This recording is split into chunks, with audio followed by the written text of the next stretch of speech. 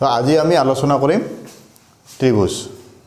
তোমালোকৰ chapter six ত্ৰিভুজৰ মানে ইয়াৰ যিমানবিলাক কুৱেশ্যন আছে মানে বহুত আছে এই চেপ্টাৰটোত হা? সেইকাৰণে মই বিচাৰিম যে তোমালোকে যাতে বুজি নিজেও কৰিব কাৰণে চেষ্টা কৰা হা? প্ৰত্যেকটো মেথছ কৰিও দিব গ'লে মোৰ বহুত দিন লাগি যাব। সেইকাৰণে মই থিয়ৰিখিনি যেতিয়া বুজাম খুব ভালদৰে বুজিব চেষ্টা কৰিবা। ঠিক আছে মন দি হা? আটাইতকৈ গুৰুত্বপূৰ্ণ কথা এইটো চেপ্টাৰত যিটো সদায় ব্যৱহাৰ হৈ থাকিব সেইটো হৈছে তোমালোকৰ প্ৰথম এইটো যে সমান সংখ্যক বাহুৰ দুটা বহুভুজ সদৃশ হ'ব। আৰু এই চেপ্টাৰটো গোটেইখিনি সদ মানে সাদৃশ্যতাৰ ওপৰত ত্ৰিভুজৰ সাদৃশ্যতাৰ ওপৰত ঠিক আছে? সেইকাৰণে প্ৰথমতে তোমালোকক দিয়া আছে যে সাদৃশ্যতাৰ চৰ্ত কি? বুজিছা? সাদৃশ্যতাৰ চৰ্তটো কি? কি চৰ্তত দুটা বস্তু আমি সদৃশ হোৱা বুলি ক'ম? তো ইয়াতে কৈছে যে সিহঁতৰ অনুৰূপ কণবোৰ সমান হ'ব লাগিব? আৰু দ্বিতীয়তে সিহঁতৰ চৰ্ত হৈছে যে সিহঁতৰ অনুৰূপ বাহুবোৰ একে অনুপাতত থাকে বা থাকিব লাগিব? এতিয়া আমি বুজিব লাগিব যে অনুৰূপ শব্দটোৰ অৰ্থ কি হয় না আৰু অনুপাত বুলি ক'লে কেনেকুৱা অনুপাতক বুজা হৈছে ঠিক আছে? তো ইয়াতে আমি এটা উদাহৰণ লৈছোঁ মই দুটা এটা এটা সৰু বৰ্গ লৈছোঁ এটা ডাঙৰ বৰ্গ লৈছোঁ। হা? এতিয়া আমি প্ৰমাণ কৰি চাব লাগিব বা এই চৰ্ত দুটা মিলাই চাম যে এই বৰ্গটো আৰু এইটো বৰ্গ সদৃশ হয়নে নহয়। ঠিক আছে? তো যেনেকুৱাকৈ এইটো বৰ্গ আছে ঠিক তেনেকুৱাকৈ এইটো বৰ্গ আছে এৰেঞ্জমেণ্টটো একেই আছে হয় না? ইয়াৰে এ কণটোৰ লগত ই কণৰ মিল আছে আছে নহয়? আৰু বিটো কাৰ লগত মিলি আছে? এফৰ লগত চিটো জিৰ লগত আৰু ডিটো এইচৰ লগত। হয়নে নহয় গতিকে আমি কওঁ কি যে অনুৰূপ কণবোৰ কি কি? অনুৰূপ কণ হৈছে? এৰ অনুৰূপ ই। এই দুটা সমান হয়নে নহয়? হয়। কাৰণ দুয়োটাই নাইণ্টি ডিগ্ৰী। বৰ্গ যে? হয়নে নাই? ঠিক তেনেকৈ বিৰ অনুৰূপ বিৰ অনুৰূপ এফ। এই ইও কিমান ডিগ্ৰী? Ninety degree. ঠিক তেনেকৈ কণ চিৰ অনুৰূপ কি? জি। ইও নাইণ্টি ডিগ্ৰী। কণ ডিৰ অনুৰূপ কি হৈছে? এইচ। ইও নাইণ্টি ডিগ্ৰী। হুম? তে আমি গম পালোঁ প্ৰথমতে কণকেইটা আমি মিলাই ল'ম যে এৰ লগত ই বিৰ লগত এফ চিৰ লগত জি ডিৰ লগত এইচ। হৈছে?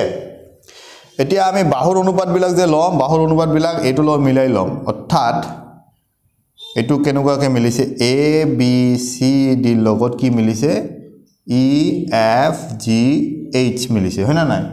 সেইকাৰণে অনুপাতবিলাক কি হ'ব? প্ৰথমতে এ বি এ বি অনুপাত ই এফ হা?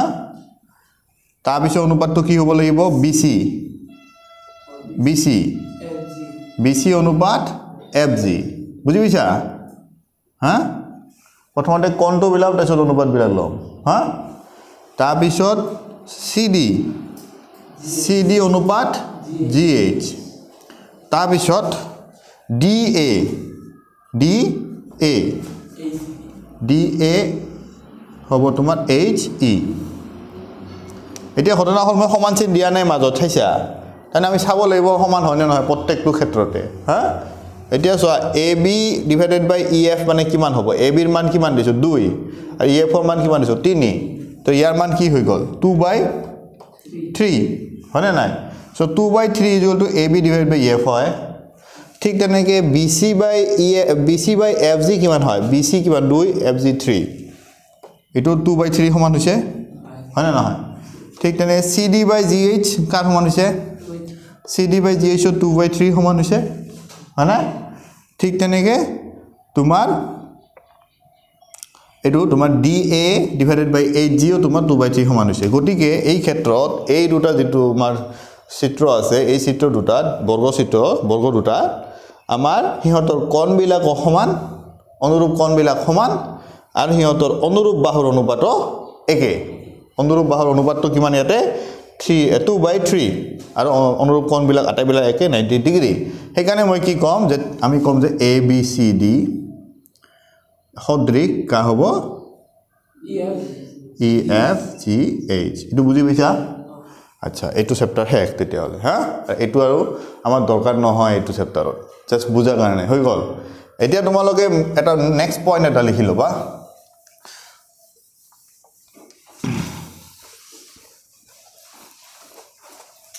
নেক্সট পইণ্টটো হ'ব।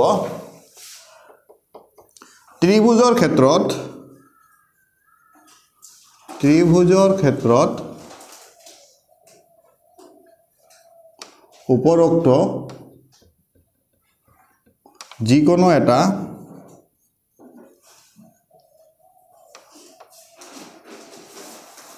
চৰ্ত সম্পন্ন হ'লে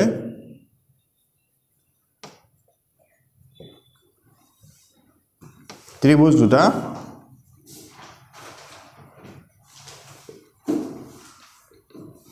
সদৃশ হয়।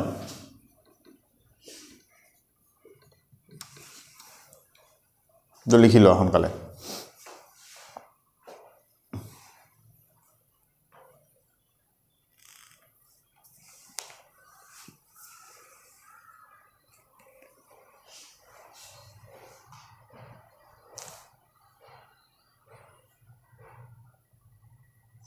হৈছে? এতিয়া চোৱা ইয়াত মই কি কৈছোঁ আগৰ যিটো চিত্ৰ আছিল তাতে কেইটা বাহু আছিল? বৰ্গত চাৰিটা বাহু। চ' তিনিটা বাহু থকা ত্ৰিভুজৰ ক্ষেত্ৰত আমি কি চাম? আমি এই দুটা চৰ্তৰ যিকোনো এটা মিলাব চেষ্টা মিলিলেই হ'ল। কিন্তু চাৰিটা বাহু বা পাঁচটা বাহু বা ছয়টা বাহু তেনেকুৱা বহুভুজৰ ক্ষেত্ৰত হ'লে দুটা চৰ্তকে আমি মিলাবৰ চেষ্টা কৰিব লাগিব। কিন্তু ত্ৰিভুজৰ ক্ষেত্ৰত যিকোনো এটা চৰ্ত মানিলেই সিহঁত ত্ৰিভুজ দুটা সদৃশ হ'ব। বুজি পাইছা হয়তো আমি চাম যে কণকেইটা অনুৰূপ কণকেইটা সমান হয় নে নহয়। যদি হয় তেনেহ'লে সিহঁত দুটা সদৃশ।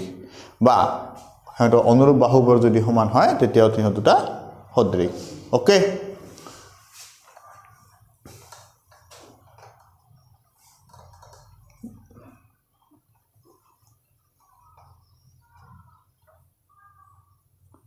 আচ্ছা। এতিয়া আমি আমি এইটো বস্তু বুজি লওঁ। প্ৰথম এইটো সহজ আছে তাৰপিছত আমি এইটো বুজিম লাষ্ট ঠিক আছে? হা? তা তেতিয়াহ'লে আমি এইটো চাওঁ। ইয়াতে আমি কি চাম? যিকোনো এটা চৰ্ত মিলাব চেষ্টা কৰিম। প্ৰথমতে কণতটো ট্ৰাই কৰিবা।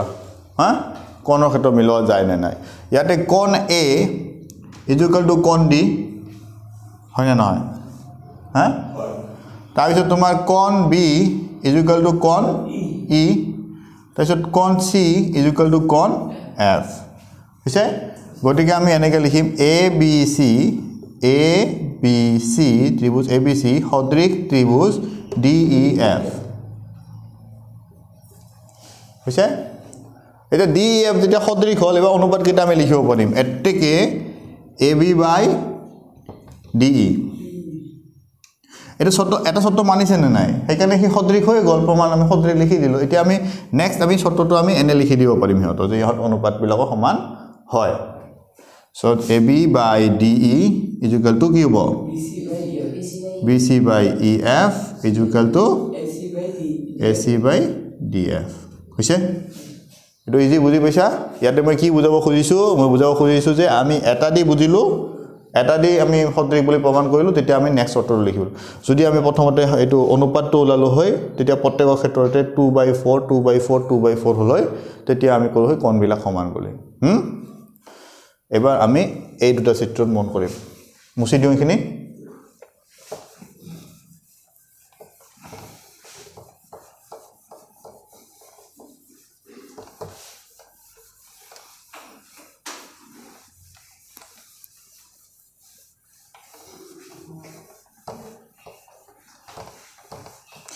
চিত্ৰ দুটা ভালদৰে চোৱা। তাতে তোমালোকে এটা ত্ৰিভুজ দেখা পাইছা যাৰ নাম হৈছে এ বি চি আৰু এটা ত্ৰিভুজ দেখা পাইছা যাৰ নাম হৈছে ডি ই এফ হয় না এই দুটা ত্ৰিভুজ সদৃশ হয় নে নহয়? কি হয়? তোমালোকৰ মতে সদৃশ হয় নে নহয়? নহয়? প্ৰত্যেকৰ মতে নহয়? আচ্ছা এতিয়া আমি অনুৰূপ কোণ মিলাম? চোৱা ইয়াতো ত্ৰিছ ডিগ্ৰী কোণ আছে ইয়াতো ত্ৰিছ ডিগ্ৰী কোণ আছে। আছে?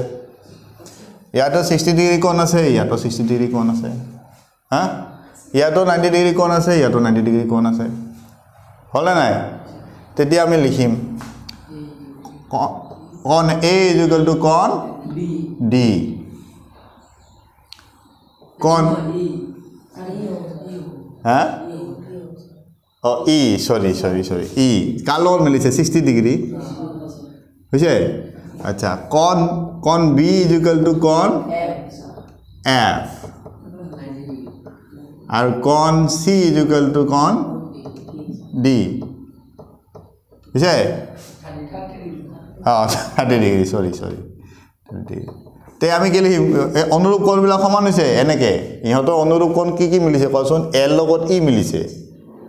বিৰ লগত এফ মিলিছে আৰু চিৰ লগত ডি মিলিছে। সেইকাৰণে ত্ৰিভুজ কোন দুটা সদৃশ হ'ব সেই নামটো আমি কণৰ পৰা দিম। এইটো এইটো গুৰুত্বপূৰ্ণ কথা। বুজিছে কণ কেনেকৈ মিলিছে তাৰ ওপৰত ভিত্তি কৰি ত্ৰিভুজ দুটাৰ নাম দিবা। গতিকে আমি ইয়াতে লিখিম। আমি এ বি চি সদৃশ ডি এফ নিলিখোঁ। আমি এ বি চি সদৃশ কি লিখিম? A B C A B C সদৃশ ই এফ ডি। আণ্ডাৰষ্টেড? বুজি পাইছা ঘটনাটো সদৃশত সদায় কণটো অকণ মিলাবা তাৰপিছত সদৃশতা লিখিবা। এতিয়া অনুপাতবিলাক মিলিব তোমালোকৰ। বুজি পাইছা গতিকে এইটো যেতিয়া সদৃশ হ'ল গতিকে অনুপাতবিলাক সমান হ'ব বুলি ক'ব পাৰিম আমি। হয়নে নাই?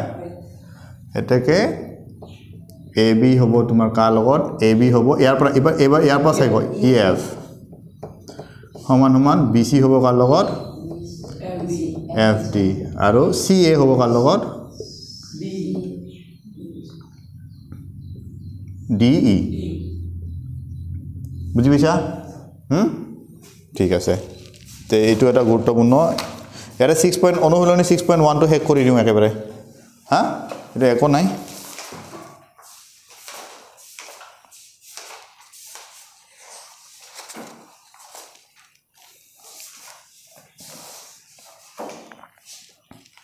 ইয়াৰে খালী ঠাই পূৰণ কৰিলে কি কি হ'ব? প্ৰথমটো হ'ব কি? সকলোবোৰ বৃত্তই সদৃশ। সদৃশ। হা? সদৃশ আৰু সৰ্বসম দুটা পাৰ্থক্য বুজি লওঁ আমি প্ৰথমতে এইটোত। সৰ্বসম কাক কয় আৰু সদৃশ কাক কয়? সদৃশ হৈছে দেখাত একে অনুপাতত একে। সৰ্বসম হৈছে দেখাত একে লগতে মানত একে। অনুপাতত একে হ'লে নহ'ব মানত একে হ'ব লাগিব। তাৰমানে ধৰি লোৱা দুটা সমবাহু ত্ৰিভুজ লৈছোঁ। কি কি? দুটা সমবাহু ত্ৰিভুজ। হা? এইটোও সমবাহু ত্ৰিভুজ এইটোও সমবাহু ত্ৰিভুজ। হা ই অলপ সৰু আকৃতি ই অলপ ডাঙৰ আকৃতিৰ হা গতিকে ইহঁত দুটা সৰু আৰু ডাঙৰ হৈ থকাৰ কাৰণে ইহঁত কি হ'ব? সদৃশ হ'ব পাৰে সৰ্বসম হ'ব নোৱাৰে। সৰ্বসম অৰ্থ হৈছে কি? প্ৰত্যেকটো অংগই প্ৰত্যেকটো অংগত সমান। হা? ঠিক তাৰমানে এইটো বাহু আৰু এইটো বাহু সমান নহয় অনুপাতহে সমান হয়। বুজি পাইছা কথাটো? হা? এইটো বাহু এইটো বাহু অনুপাত আৰু এইটো বাহু এইটো বাহু অনুপাত। তো কি কৈছে? কণবিলাক সমান বাহুবিলাক যদি সমান হয় তেতিয়াহ'লে হ'ব কি? সৰ্বসম। কণবিলাক সমান অনুপাত সমান তেতিয়া হ'ব সদৃশ। সদৃশৰ অৰ্থটোত কি বুজিবা যে অ, দেখাত একে আকৃতিত একে। হা? হা?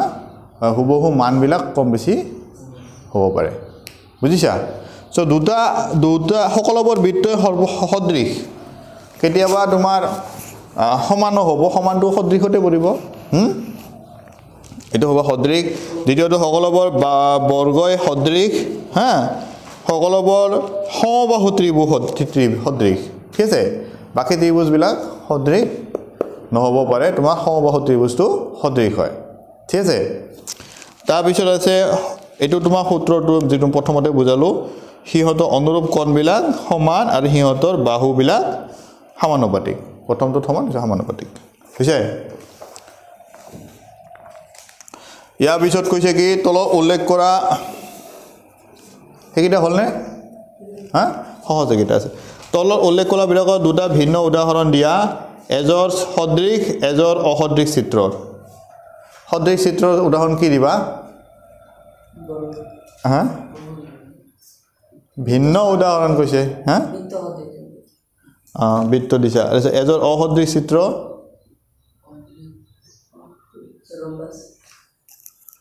দুটা ৰম্বাজ আকৌ সদৃশ হৈ যাব আকৌ।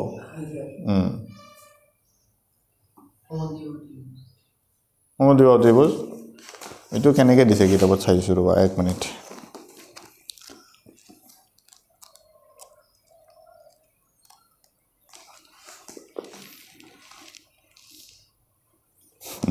এইটো এজাই দিয়া নাই। এইটো তোমালোকে যি তাকে ভাবিছোঁ যিকোনো এন্সাৰ দিব পৰা এইটোত। এযোৰ অসদৃশ চিত্ৰ চিত্ৰৰ দুটা ভিন্ন উদাহৰণ চিত্ৰ আঁকি দেখুৱাই দিব কৈছে এইটো চিত্ৰ আঁকি দেখাই দিলে হ'ল। হ'ব? হা? ধৰি ল'বা এটা ফুটবল আৰু এটা চন্দ্ৰ মানে হয়নে নাই? সেইটো এটা হ'ব। তাৰপিছত এজন অসদৃশ চিত্ৰত তোমালোকে দুটা চিত্ৰ বনাইছা এটা ৰম্বাছ বনাইছা। ৰম্বাছেই বনাইছা আৰু এটা মাপবিলাক মানে ঠিক নহয় অনুপাতবিলাক কম বেছি আছে? মানে এটা বৰ্গ বনাইছা চৰি দুটা বৰ্গ দি দিবা।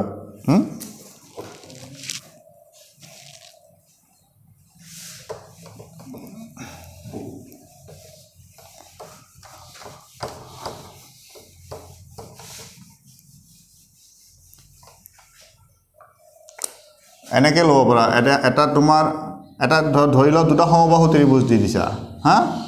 দুয়োটাই সমবাহু তেতিয়া কি হ'ব? সদৃশ। এইবিলাক সদৃশৰ উদাহৰণ হ'ল হা? ত্ৰিভুজৰ ক্ষেত্ৰতে মই আনটো দি দিছোঁ অসদৃশত।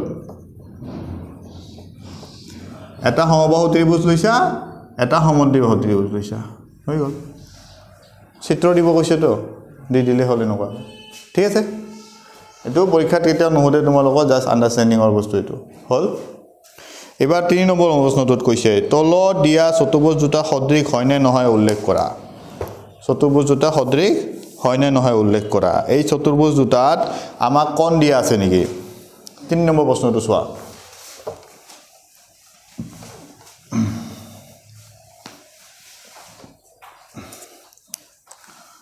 তিনি নম্বৰ কুৱেশ্যনটোত সদৃশ হয়নে নহয় চাব কৈছে। এটা চিত্ৰ এনেকৈ দিছে এটা চিত্ৰ এনেকুৱাকৈ দিছে। হয়নে নহয়? তো এটা চিত্ৰত আমাৰ নাম দিছে পি কিউ আৰ এছ আৰু আনটো চিত্ৰৰ নাম দিছে এ বি চি ডি। আৰু প্ৰতিটোতে বাহুৰ মাপো দিছে। ইয়াত দিছে কিমান? One point five. ইয়াতে দিছে কিমান? One point five. ইয়াতে দিছে ওৱান পইণ্ট ফাইভ আৰু ইয়াতে দিছে ওৱান পইণ্ট ফাইভ আৰু ইয়াতে দিছে থ্ৰী থ্ৰী থ্ৰী থ্ৰী ঠিক আছে? হা?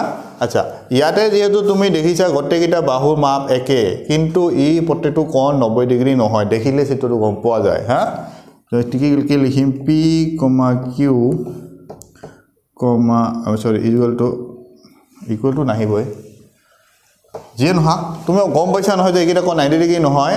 কিন্তু বাহুকেইটা সম্বা সমান গতিকে এইটো কি এইটো কি? ৰম্বাছ. আচ্ছা এইটো গোটেইকেইটা বাহু সমান আছে আৰু কোনকেইটা নাইণ্টি ডিগ্ৰী বুজা গৈছে গতিকে এইটো কি? বৰ্গ। হৈছে যদি আমি বাহুৰ অনুপাতত চাওঁ আমি যদি এনেকুৱাকৈ লওঁ P Q R S P Q R S আৰু এ বি চি ডি তেতিয়াহ'লে পি কিউ অনুপাত A B equal to S R অনুপাত C D equal to S P অনুপাত D A equal to one point five divided by three equal to one by two গোটেইকেইটা অনুপাত একে আছে? তে অনুপাত একে থাকিলে আমি সদৃশ বুলি ক'ব পাৰোঁ জানো? নোৱাৰোঁ। কাৰণ ইয়াতে বাহু সংখ্যা বেছি আছে। ত্ৰিভুজৰ ক্ষেত্ৰতহে এটা চৰ্ত মানিলে হ'ব। বৰ্গ বা বেলেগ হ'লে চাৰিটা বাহুযুক্ত যিহেতু বহুভুজ। বহুভুজত দুটা চৰ্ত মানিব লাগিব এটা চৰ্ত মানিছে কিন্তু দ্বিতীয় চৰ্ত কি? অনুৰূপ কৰ্মৰ অঁ অনুৰূপ কৰ্মৰ সমান নহয় হয়নে নাই? কণবোৰ সমান নহয়। যিহেতু এটা চৰ্ত মানিছে কিন্তু দ্বিতীয় চৰ্তটো ইহঁত দুটাই মানা নাই। ইয়াত নাইণ্টি ডিগ্ৰী হয় ইয়াত নাইণ্টি ডিগ্ৰী নহয় কণবিলাক সমান নহয়। সেয়েহে ইহঁত দুটা কি নহয়? সেয়েহে সেয়েহে পি কিউ আৰ এছ আৰু এ বি চি ডি সদৃশ নহয় বুজি পাইছা? হা? কথাটো বুজি পাইছা? তো এইটো এইটো চেপ্টাৰত এইখিনি হ'ব। নেক্সট আমি থিয়ৰী আলোচনা কৰিম। হ'ব?